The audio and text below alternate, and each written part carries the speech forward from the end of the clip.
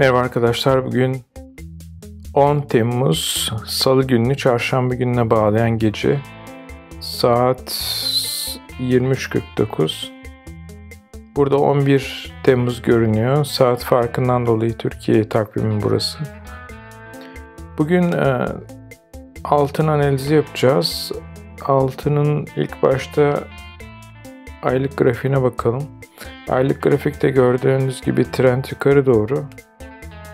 Haftalık grafikte trend gene yukarı doğru ama biraz yavaşlamaya başlamış. Almak için iyi noktalar 184 noktaları. Günlük grafiğe geçtiğimizde destek noktasını önceki direnç noktasının destek noktası olduğunu görüyoruz. Bu bölgelerde 188 bölgesinde almak için iyi nokta 183 seviyesi stop